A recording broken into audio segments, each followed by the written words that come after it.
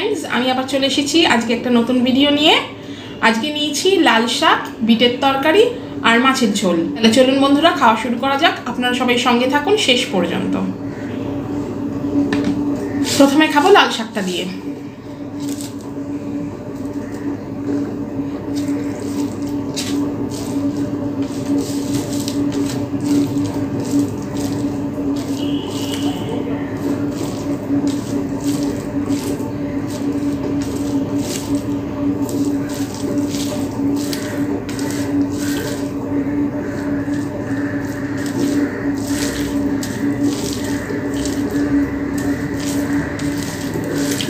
আজকে সকালবেলা খুব জোর বৃষ্টি হলো। সকাল বলতে বারোটার পরে। এখন তো অ্যাকচুয়ালি অলমোস্ট পাঁচটা বাজে।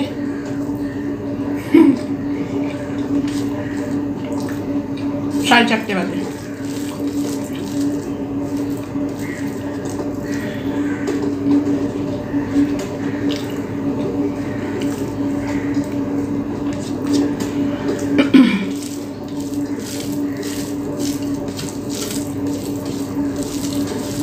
সকালবেলা বেশ চকচকে রোদ্দুরই ছিল।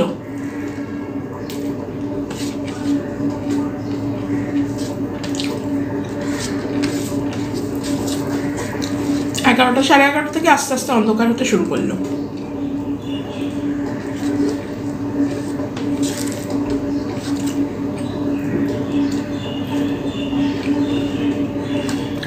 এবার খাব বিটের তরকারিটা। এটাতে বিট আলু আর একটু পেঁয়াজ দিয়ে করেছি। এমনি জাস্ট বাটি চচ্চড়ি মতো।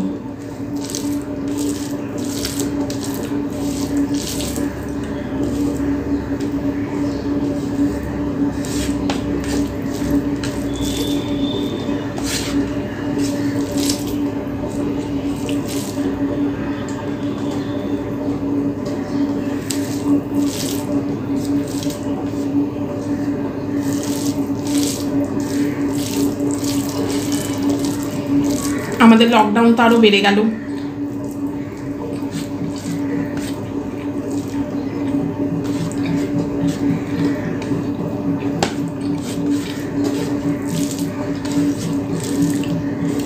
আজকেই বাজারে গেছিল। চাল আটা এসব আনতে। সব কিছুর কি দাম? প্রচণ্ড দাম বেড়ে গেছে সব কিছুর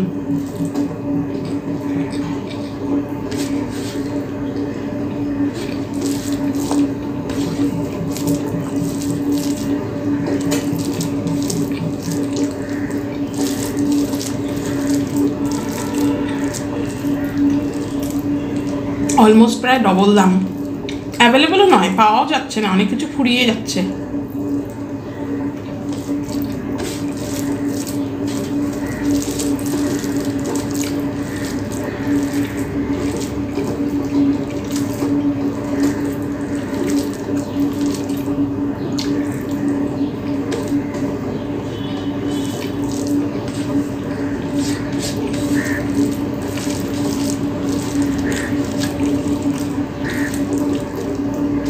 আপনারা সবাই কেমন আছেন? জানান আমাকে।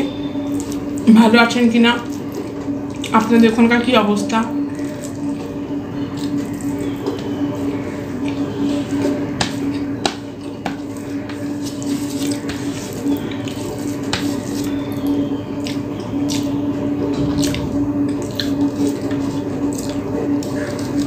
এবার খাব মাছের ঝোলটা।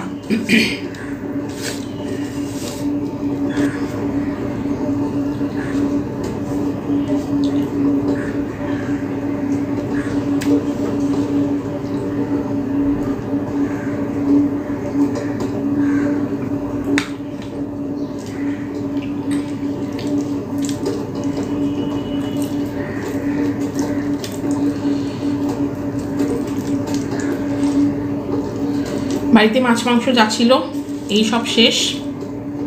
মাছের বাজারও এখন আর খোলা নয়, পাওয়া যাচ্ছে না। মাংস তো পাওয়াই যাচ্ছে না। এখন শুধুই ডিম ভরসা।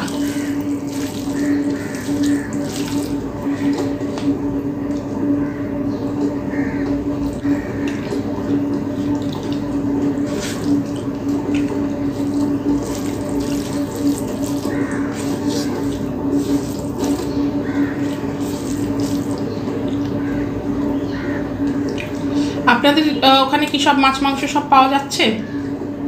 আমাকে জানান কমেন্টে।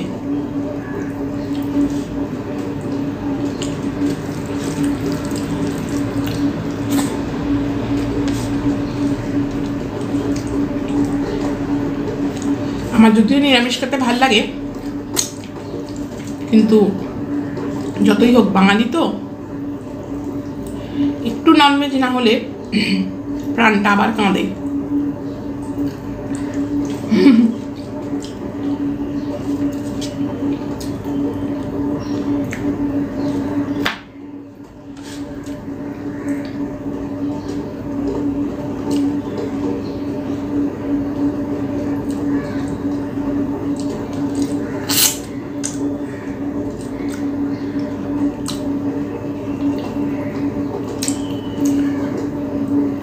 লেজা খেতে তো লেজার মুড়ো আমাকেই খেতে হয়।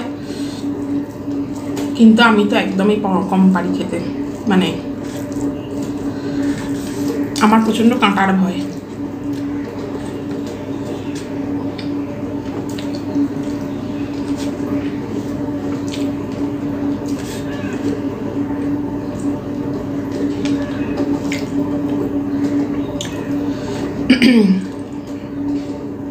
তাও বড় পাকা মাছ হলে এক কথা। এটা অতটাও বড় নয়। হয় না, সাতশো, আটশোর মাছগুলো? এটা ওরকম। কাঁটাও আছে প্রচুর।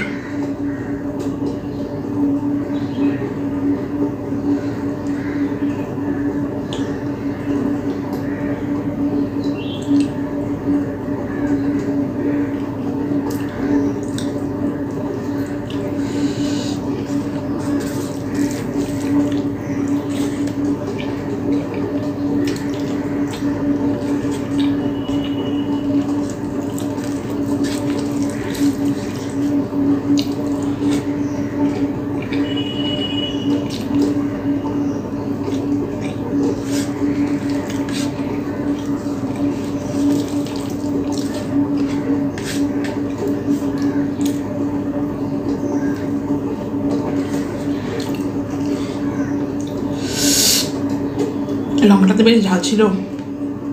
বেশ মানে কি খুব ঝাল ছিল।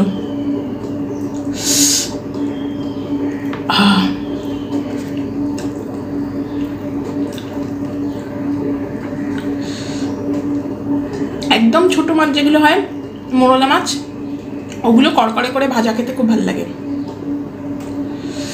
আর একদম বড় পাকা মাছ, সেটাও ভালো লাগে। এই মাঝারিগুলো নিয়ে সমস্যা। কাঁটাও থাকে তার। ওই জন্য তো আমি ইলিশ মাছও খেতে পারি না।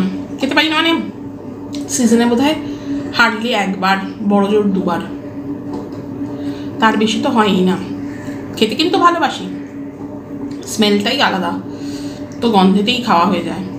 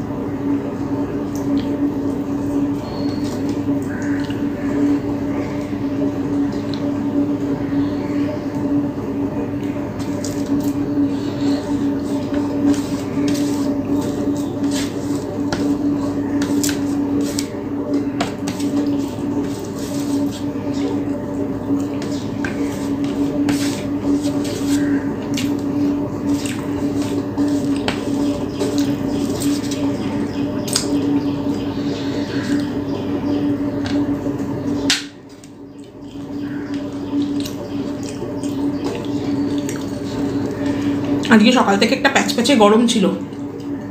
বৃষ্টিটা হওয়াতে ওয়েদারটা খুব ভালো হয়ে গেল। জানি না এরপরে গরমটা বাড়বে কি না অবশ্য রোদ পড়ে গেছে।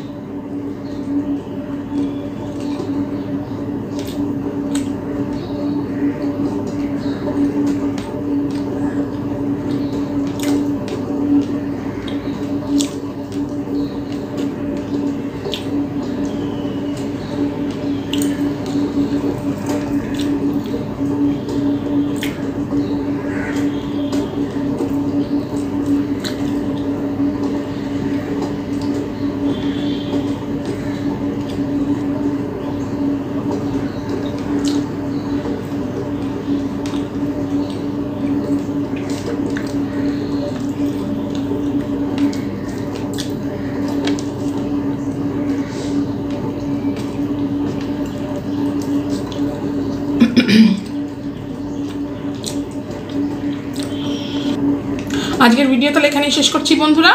আপনারা সবাই ভালো থাকুন, সুস্থ থাকুন, আমার ভিডিও দেখতে থাকুন। সব নিয়ম, নীতি মানতে থাকুন। আবার দেখা হবে পরে অন্য কোনো দিন নতুন ভিডিও নিয়ে। আজ তাহলে আসি। টাটা।